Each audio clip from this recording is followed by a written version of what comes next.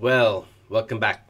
So it looks like uh, AWS Academy changed something again. So um, one of the main things I like to use uh, is not working. So let me actually start the lab and then we'll talk about uh, what it is. So um, I'm going to use the LearnLab Associate Services. Uh, the reason why is because um, then it allows me to do uh, API calls as well so I can do online forms. Uh, so that's why I sign up most of my students for. Uh, so we're going to do student view so that we can get into the lab and I'm going to get this lab started and then I'll talk about what we're doing today. Um, so I do run Linux, so sometimes things are a little different for me, but not really much. So I'm going to go ahead and start this lab. So uh, while it's starting, so uh, one of the main things I use uh, um, AWS Academy for is help helping my students see what the possibilities are of um, doing things online. So with that, I uh, love to do serverless. And one of the serverless features that uh, I use is being able to host a web page um, through S3. Um, well, it just so happens that that changed. So with that change, it made it so that my students were unable to uh, do it without an extra step. So just figured I'd re-record this video. Um, go ahead and do that extra step. So um, the lab does take a little while to start. So that's one of the things I strongly encourage people to go ahead and start it uh, as soon as as they get to class or even before. Um, these are open for several hours. Um, if you look like this, it's long live. Um, the you can the session will end, but data will stay there. EC2 instances do shut down. Um, but anyway, it's uh, it, it's for uh, it looks like six hours. Um, and then you can even click start again and reset that. So um, this is a, a, good lab to be able to play really in depth uh, with um, AWS. But hosting a web page won't take as long at all uh, once this gets started. So uh, the thing that changed is they put some type of a policy to make it harder to make stuff public. So uh, since it's harder to make stuff public, we'll re-record this video and take you through the extra steps. So uh, there's actually multiple ways you can do it. Uh, we'll be doing it in the point and click way um, instead of writing our own bucket policy. I'm actually wondering if this has started. This happened to me um, happened to me in class. So let's just look. So coming back here, uh, I just wanted to refresh to see if this AWS has turned to green. Nope, it's still yellow. So it's still, it's still starting. So it takes a little while sometimes. One of the cool things here is it does tell you how much you've used. Uh, as an instructor, I'm not going to show this because of how many students I have in this and in FERPA. I can actually see uh, how much people, uh, how much the individual students have used. So if I wanted to every so often, I could check and reach out to someone and say, hey, you're going through your, your budget too fast, uh, you're going to run out. Um, but I haven't really uh, had that happen except for in the machine learning class. Uh, with the machine learning class, I did have um, at least one student have issues with one lab that they tried many, many times because uh, they you boot up big instances in machine learning. So I'm going to go ahead and pause this and wait for this to, oh, never mind. It's it's ready. Okay, so if you notice this changed a little bit. Uh, there's a, a, CLI that I could grab here that will allow me to use the command line interface to interact with PeopleSoft. Uh, there's also the, the keys. Uh, we're not going to use that. Um, and the, the URL, or we can just click here on AWS, and this should sign us in automatically.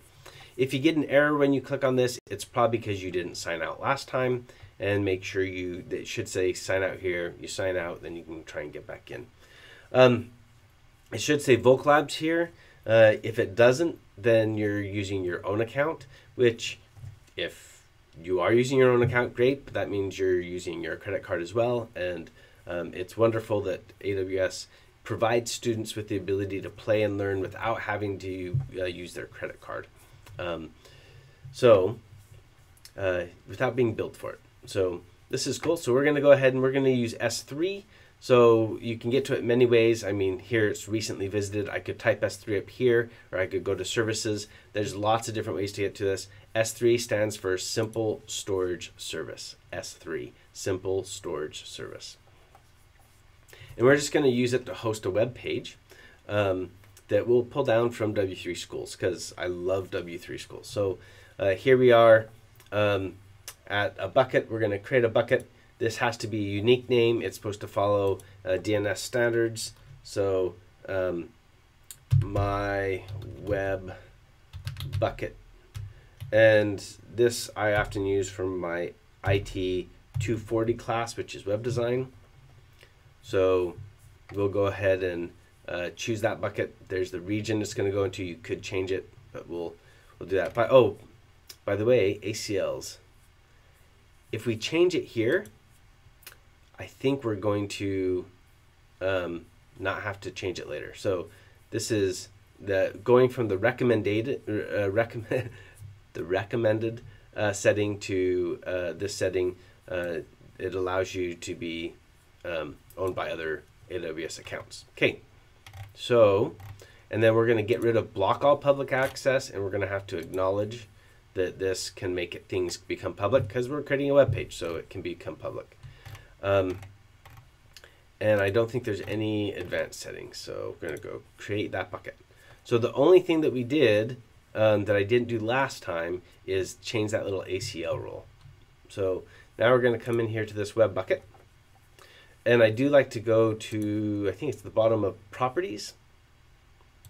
Uh, at the very bottom, there's this static website hosting. And you can click edit and you can enable it. And this allows you to set like the index.html to be the default. You can set an error, and there's other rules you can put in here that we're not going to touch on. So as that's creating, I'm going to go out to W3 Schools. I like the responsive uh, page because I think you should do uh, web pages as mobile first. So we'll just grab this one, try it yourself. Um, and this, if you, if you look, it will just allow us, in fact, we'll take this off. Well, nah. so we're going to go ahead and, oop, we're going to go ahead and grab this HTML. Let's see, Control A. Um, and we'll open up Notepad which for me is Zed. Nope. We'll open up a different notepad.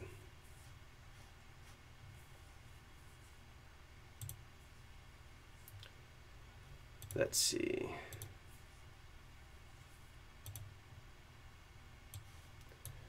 So just a little text editor. Um, doesn't matter what you create it in.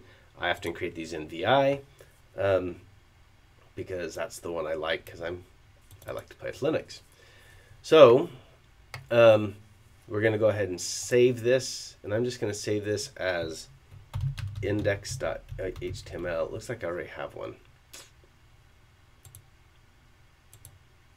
So we'll replace it because I don't know what the other one had. So this is just going to be a W3 Schools page. So I'm going to close that. So this is what it should look like, and I'll show you why I like this, uh, this responsive page. So coming back here, I'm going to come to Objects, and then I have to, um, I'm going to do this off the screen, uh, go to my Documents, and find that index.html. Uh, and I'm just going to drag it over. So you can see you can just drag and drop. Uh, you could find it as well, but dragging and dropping is fine.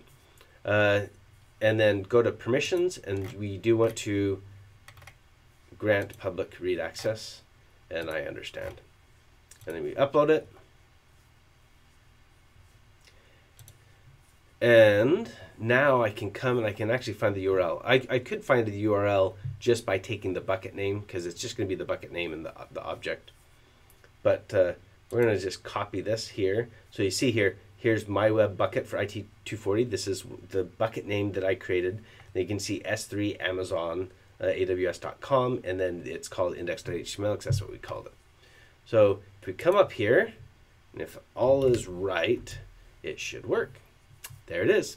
So the reason why I like responsive is because as you make it smaller, you can see that it adjusts. Uh, so it'll be easier to be viewed on a web page. So there we go. We created a bucket. We made it public. We put a, uh, an item in it, and it's available out there on the web. So yeah, it's it is HTTPS, but it's Amazon, uh, AWS.com. Uh, you can change this with Route 53, but not in. Um, so you can put your own name here, but not when using your um, AWS Academy account. So uh, that's something that you'd need a, a, full account to do. So uh, that's all I have for today. Thank you.